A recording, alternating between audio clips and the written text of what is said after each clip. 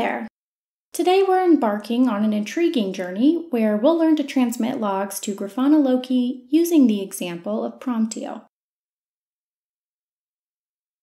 Promtail is particularly nice for Kubernetes logs like workload application logs.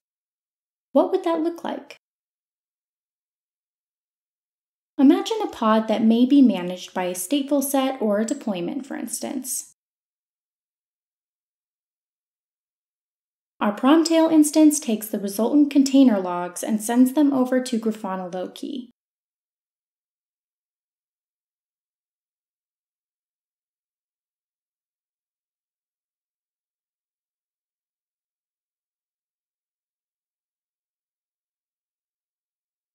Our compass for this adventure?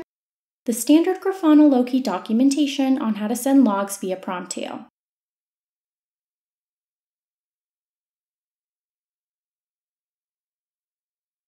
So let's say hello to Promtail and install it, following the recommended path of the daemon set method.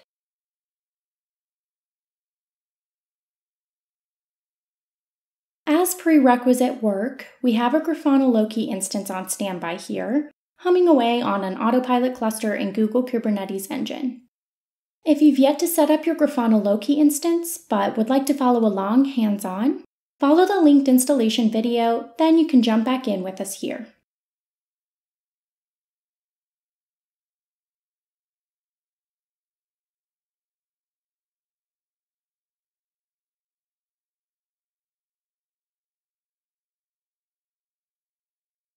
This Promtail daemon set suggests a separate instance of Promtail will accompany each of our Kubernetes nodes.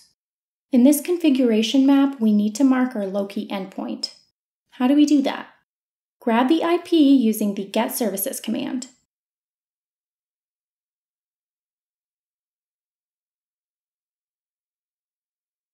Our protocol for connection?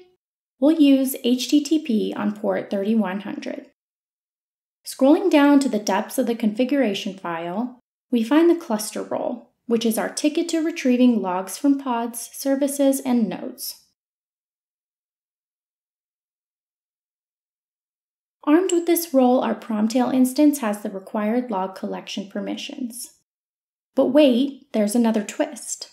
We also need to tune this cluster role binding to ensure it works with the non-default namespace that we installed Loki in.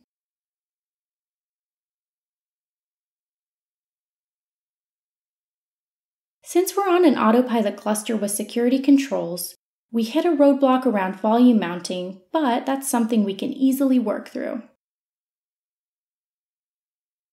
If we alter the volume mounts so that we're skipping over the Docker container logs, since only containerd is supported on autopilot clusters, and also adjusts the volume mount directory and write permissions, we'll be in alignment with security controls.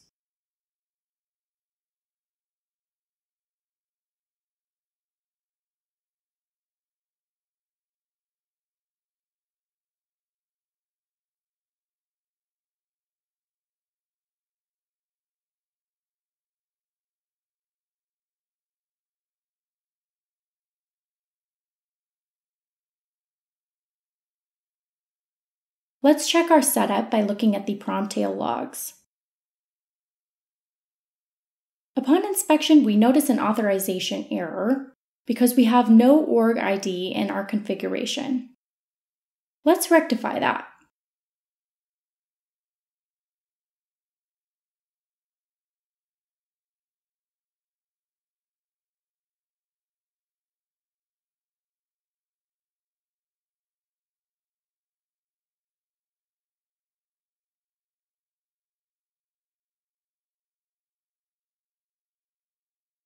For the Promtail pods to detect and utilize this new configuration, we'll have to recreate the two pods.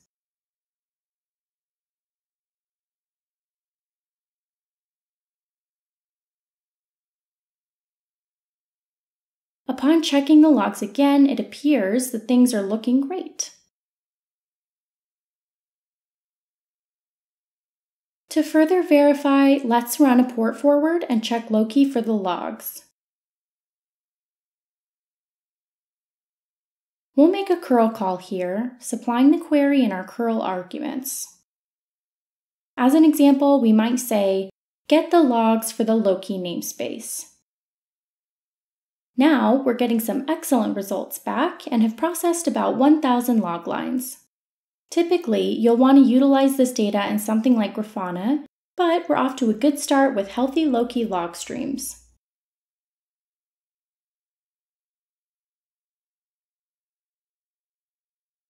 We hope this video has been informative and we'll keep a close eye on the comment section for any questions you may have. Thank you for watching and as always, please enjoy responsibly.